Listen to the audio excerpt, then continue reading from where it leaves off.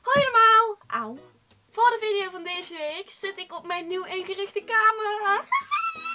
ik heb mijn kamer opnieuw ingericht. Het hele proces komt nog online. Ehm, maar dat is niet waar deze video deze week over gaat. Oh my god, mijn plantjes zijn dood aan het gaan. Oh, freaking way. I have to give them water. Anyway, voor de video van deze week heb ik voor jullie een haul video. Want als je mij volgt op Instagram of mijn afgelopen drie video's hebt gezien, dan weet je dat ik heel veel op reis ben geweest de afgelopen weken. En als je me nog niet volgt op Instagram of die afgelopen drie video's nog niet hebt gezien, dan moet je dat zeker even gaan doen. Want ja, shameless self-promo. Hoe dan ook, in die week op vakantie heb ik natuurlijk ook heel wat tijd gehad om te shoppen. En heb ik een hele hoop nieuwe spulletjes gekocht. Weer eens een ouderwetse haul video jongens. Ben eraan toe het is niet allemaal van vakantie. Sommige dingen heb ik ook nog gewoon thuis gekocht in Nederland. Maar jullie zien het allemaal vanzelf wel. En laten we maar heel vlug beginnen. De allereerste winkel waar ik naartoe ben geweest is Sarah. En het eerste wat ik daar heb gekocht is deze broek. De prijs weet ik niet meer precies. Ik zal ze hieronder in beeld zetten. Want ik heb op dit moment de bonnetjes niet bij de hand. Dus ik weet het niet allemaal uit mijn hoofd. Maar het komt hieronder in beeld. Ik heb er deze broek gekocht. En dit is een soort van um, joggingsbroek. Maar dan met een heel net stofje. Het heeft de vorm van een joggingsbroek. Het zit net zo comfortabel als een joggingsbroek. Het ziet er alleen wat chiquer uit. Omdat het van een wat chiquer stofje is gemaakt. En um, I don't know, het heeft wel een chique uitstraling. Maar aan de andere kant ook weer heel casual. En de zon gaat weg. Ik vind deze in ieder geval super chill. Ik hou echt van dit soort broeken. Ze zitten lekker en ze zien er goed uit. Dus ja, super blij met deze aankoop. Het tweede wat ik bij Zara heb gekocht is een super leuk truitje. Het is dit gestreepte truitje, maar het heeft een super super leuke neckline, halslijn. Het is een off-the-shoulder truitje, dus het is met blote schouders. Maar dan heeft hij in het midden zo een halsje dat dan om je nek heen gaat. En het is een super super leuk effect. Ah ja, Frans. Het is gestreept, het is schattig, het is cute en vooral op deze broek. Deze twee samen is zo zo cute. Love it, love it, love it. Oh my god. Ik liet deze beker vallen op mijn bed, maar hij heeft gelukkig zo'n dekseltje, dus het is niet nat. Maar oh, oké, deze ga ik even op de grond zetten. De volgende winkel waar ik naartoe ben geweest is Pull&Bear. Ik wist niet hoe leuk deze winkel was, totdat ik erin stond in Londen. Ik was oprecht nog nooit naar Pull&Bear geweest. Mijn ouders hebben me daar ooit één keer een truitje gekocht toen ze op vakantie waren. Maar volgens mij ligt hier in de buurt geen Pull&Bear. Dan moet je al naar Amsterdam of naar een andere grote stad. Volgens mij ligt hij in ieder geval niet in Maastricht. Dus toen ik hem in Londen zag, dacht ik, oh mijn god, ik moet echt even naar binnen. En ik werd meteen verliefd op alle kleren die daar hingen. Ik had alleen jammer genoeg niet het geld om alles te kopen. Dus ik heb drie nieuwe items gekocht. Laten we als eerste beginnen met dit t-shirtje. Ik zag deze ook hangen in de etalage van Urban Outfitters. En ik wou er eigenlijk ook nog heel graag naartoe om per se dat t-shirtje te kopen. Er ging namelijk een t-shirtje die vrij veel op deze leek.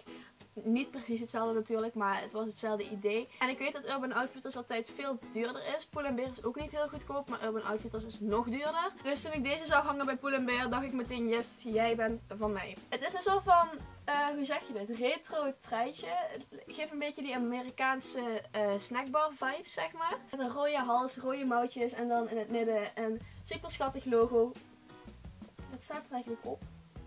Ik heb geen idee wat dit precies betekent, maar dat boeit niet. En ik ben erover belicht. Jezus jongens, de zon doet vandaag niet echt zijn best of zo. Ik weet niet precies wat erop staat, maar dat maakt niet zo heel erg veel uit. Dus in ieder geval een super schattig truitje. Ik ben helemaal verliefd op dit truitje. En ik heb hem ook echt al drie keer aangehad sinds ik terug ben van Londen of zo. Volgende truitje is denk ik nog wel een groter favoriet truitje dan het vorige. Het is namelijk deze van Pull&Bear. Het is een soort van crème kleurachtig truitje. En op midden heeft hij een driehoekje staan met een roosje erop. En dan staat er tekst onder. Volgens mij staat er everything is love. Maar love is dan bedekt door de roos. Dus I'm not sure. Het is een oversized t-shirt. Dus hij is iets groter. En I love that. Oh mijn god jongens. Deze past gewoon overal bij. Hij is zo comfortabel. I can't. I just, I just can't. En dan als laatste volgens mij ook wel een van mijn favoriete aankopen. Maar dit jasje, ik wou al zo lang een oversized spijkerjasje. Echt waar, ik heb, ben echt wel een jaar aan het schreeuwen dat ik hem wil volgens mij. En ik heb er eindelijk eentje gekocht. Het is eigenlijk een super basic oversized denim jacket. Hij is kapot gemaakt of een beetje distressed aan verschillende kanten. Ik heb de mouwen zelf opgerold. Ik weet niet of dat zo moest, maar ik vond het zelf leuker als het opgerold was. En hij komt tot ongeveer net onder mijn heupen. En ik vind hem zo chill. Hij heeft gewoon een hele mooie donkerblauwe uh, spijkerkleur. En yes. ik heb hier gewoon geen woorden voor. En dan de laatste winkel waar ik naartoe ben geweest in Londen was de Victoria's Secret. Ik heb er één dingetje gekocht die ik jullie wil laten zien. De rest is ondergoed, dus een beetje TMI. Maar ik heb bij Victoria's Secret ook een sport BH gekocht van de Pink collectie. En dat is deze. Ik wou hem even laten zien, want ik vind het oprecht zo een schattige spoor BH. Hij is zo mooi en hij zit zo lekker. I don't know, ik vond hem gewoon super leuk. Dus ik wou hem jullie eventjes laten zien. En van binnen is hij roze.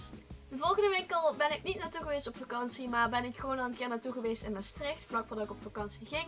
En dat is namelijk de Stradivarius, als ik het goed uitspreek. Ik spreek het altijd verkeerd uit. Het eerste wat ik daar gekocht heb is ook een truitje, namelijk dit gele truitje. En ik weet dat de kleur eigenlijk echt vet erg gewaagd is. Dit is niet iets wat ik zo dagelijks zou dragen. Maar ik zag dit truitje hangen en deed me zoveel denken aan Belle van Bella en Beest. Dat ik het gewoon echt moest kopen.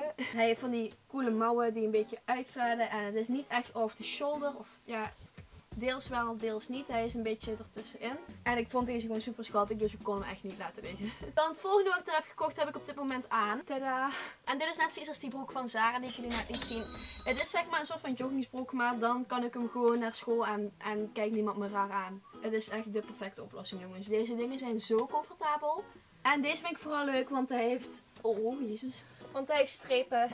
Oké, jullie zien me daar echt stunten in de spiegel. Anyway, hij heeft strepen en hij zit gewoon best net. En I don't know, I love it. Dan als laatste heb ik daar nog een broek gekocht. En dat is deze. Het is gewoon een spijkerbroek met wat gaten over de hele, uh, ik wil zeggen mouw, over het hele been heen eigenlijk. Maar ik vond vooral de pijpen eigenlijk leuk, want het heeft zeg maar aan beide kanten dan een beetje een distressed-achtig iets. En het is ook heel distressed van onder. Alsof het zeg maar gewoon zo is afgeknipt. En om de een of andere reden vond ik dat een super leuk effect. Dus deze heb ik ook meegenomen. En deze heb ik ook wel heel veel aangehaald. Want hij zit echt gegoten. Dan de volgende items zijn geen kledingstukken. Maar make-up dingen. ik ben namelijk in Londen en in Italië eventjes de make-up winkeltjes in geweest. Want uh, ja, I love the make-up. Als eerste heb ik een NYX Liquid Sweat Liquid Lipstick gekocht. En dit is in de kleur ehm, Soft Spoken, nummer 4. En guys, ik ben zo verliefd op deze liquid lipstick. Ik heb hem echt bijna iedere dag gebruikt tot nu toe. Ik heb hem vandaag toevallig niet op, want ik vond het niet echt bij deze look passen of zo. Het werd me iets te heftig, maar ik zal hem wel even swatchen voor jullie. De formule van deze lipstick, jongens, is legit zo fijn. Hij is echt, hij is heel zacht, maar hij droogt heel snel mat op, maar niet echt heel droog op je lippen of zo. Hij is nog steeds vrij hydraterend. Plus, hij blijft vet lang zitten en heeft echt goede pigment. Dit is de swatch. Ik ben niet echt een professionele beauty guru, dus ik kan niet heel goed swatchen, maar Zoals jullie kunnen zien, het is echt een prachtige nude kleur. Ik ben helemaal verliefd. Het volgende wat ik heb gekocht is een concealer. Dit is namelijk de Lasting Perfection Concealer van Collection. Ik denk dat jullie wel vaker van deze concealer hebben gehoord, want zoveel YouTubers praten erover. Iedereen zegt dat als je naar Londen gaat, dat je deze moet meenemen, omdat het echt de beste concealer ooit is. En natuurlijk ik dat even testen. Ik moet heel eerlijk zijn, het is een goede concealer. Maar ik vind, uh, volgens mij is het uh, Liquid Camouflage van Catrice even goed. En die is gewoon in Nederland verkrijgbaar. Dus het is niet zo dat je echt iets heel belangrijks mist als je deze concealer niet hebt. Hoe dan ook, ik zal hem wel even voor jullie swatchen. Hij is echt super licht, dus dat is wel chill. Vooral voor mijn huidskleur. In principe zou ik er zelfs nog mee kunnen highlighten op mijn gezicht. En dat komt echt bijna nooit voor. Het volgende ben ik wel super excited over. Namelijk de Too Faced Milk Chocolate Bronzer wat? Ik wou deze bronzer al zo lang hebben, maar ik wou hem niet bestellen op internet, want dan moest ik vet veel verzendkosten betalen. En toen ik naar Londen ging, wist ik dat ze hem daar ook verkochten, dus ik heb hem gekocht. En ik ben er zo blij mee. Dus deze bronzer is letterlijk echt mijn favoriete bronzer en ik heb hem pas een week. Hij is super mooi en hij ruikt echt fantastisch. De lichtste kleur, omdat ik natuurlijk ook een hele lichte huidskleur heb. Het swatjes en zo zie je het niet heel goed Omdat mijn arm nu ook wat bruiner is. Maar op mijn gezicht zie je het wel goed. Ik moet wel zeggen, je moet hem vrij stevig aanzetten. Je moet vrij veel product gebruiken om echt een beetje contour te kunnen zien. Maar dat is juist wel fijn, want daardoor kun je van heel subtiel naar heel zwaar gaan.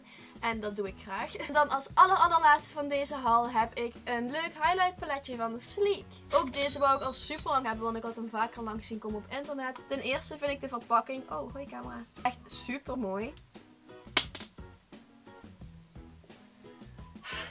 Maar de highlighters zelf zijn ook echt prachtig. Het zijn vier highlighters, waarvan één cream highlighter. En ze zijn alle vier zo mooi en gepigmenteerd. Ik vind ze oprecht echt wauw. Dit paletje is echt gewoon mijn nieuwe favoriete highlight paletje geworden. Echt waar guys, I love it. En daarmee wil ik deze haul afsluiten. Dat was het allerlaatste waar ik al mijn geld in heb uitgegeven de afgelopen zomer. Ik hoop dat jullie deze video een beetje leuk vonden. Vergeet natuurlijk geen duimpje omhoog te doen als je hem leuk vond. Te abonneren op mijn kanaal, dat kan hier beneden. En wil je op de hoogte blijven van al mijn volgende video's, klik dan op het belletje naast de abonneerknop. Want op die manier krijg je iedere keer een melding als ik een nieuwe video heb geüpload. Dat was het voor deze week en hopelijk tot de volgende week. Doei doei!